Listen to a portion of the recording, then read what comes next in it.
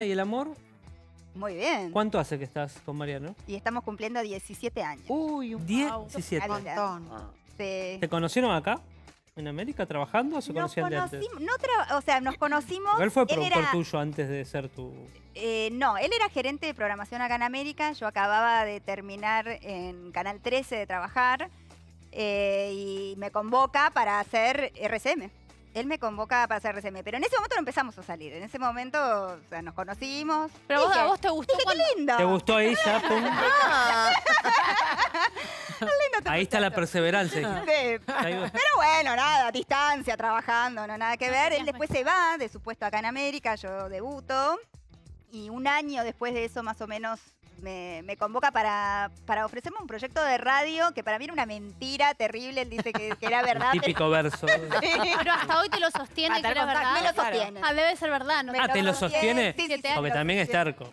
no te va a dar el brazo a torcer. Nunca, nunca. Pero bueno, todo quedó en evidencia porque hablamos ¿Pero se durante hizo el programa de radio o no? ¿Eh? Jamás se hizo el programa de No, radio. y cuando ya llevamos dos horas charlando, me, le digo, che, yo me tengo que ir de, Claro, de- querido, de dale. la radio. ¿En qué quedamos? Dice, ¿Querés hacer radio? No, la verdad que no. Ah, bueno, listo. ya. ¿Cómo vino el segundo encuentro de ahí? ¿Qué te invitó a comer? Ah. ¿Cómo fue? Y después sí, sí era difícil porque, viste, él tiene un perfil muy bajo, y no, no le gustaba que yo fuera famosa. Y bueno. Este, y entonces, y en ese momento, bueno, ahora viste que ya no hay tanto paparazzi, tanta jo- cosa en la calle de la foto Porque robada. con el tema de las redes ya se No, Claro, la saca ahora cualquiera la foto. Ahora te saca cualquiera una foto. Sí, y pero se bueno, la manda al paparazzi, mucho. le ahorró el trabajo. Me tuvo guardada, me tuvo escondida un montón Yo de una vez los crucé, que todavía recién ahí estaban comenzando, en un restaurante por acá. Ay, mira. Dije, pero mira, y el primer estaban beso- escondiditos en un restaurante por acá, pero hace siglos. ¿Estabas de ¿no? trampa, Mariana?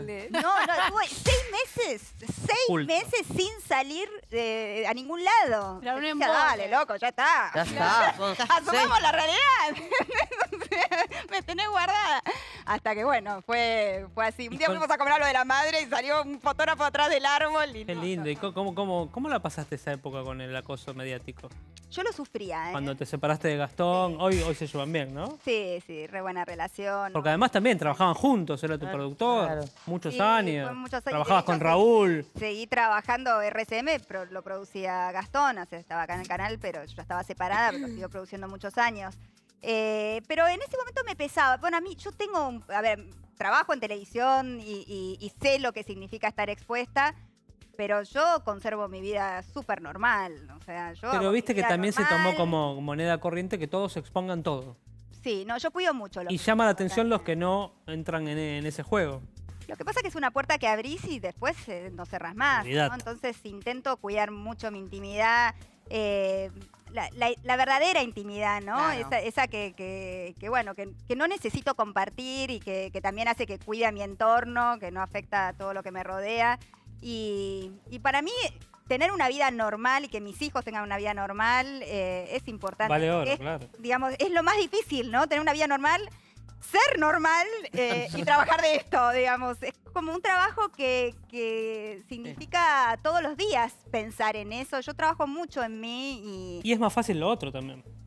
¿Qué cosa? ¿no? Digo, para, para la prensa y para la fama, exponer todo es mucho más fácil. Mucho más fácil. Pero El bueno, camino el más otro corto. camino, que es el más difícil, que es el más lento también, yo creo que es el más duradero, ¿no? Y por lo menos siempre me lo tomé de esa manera.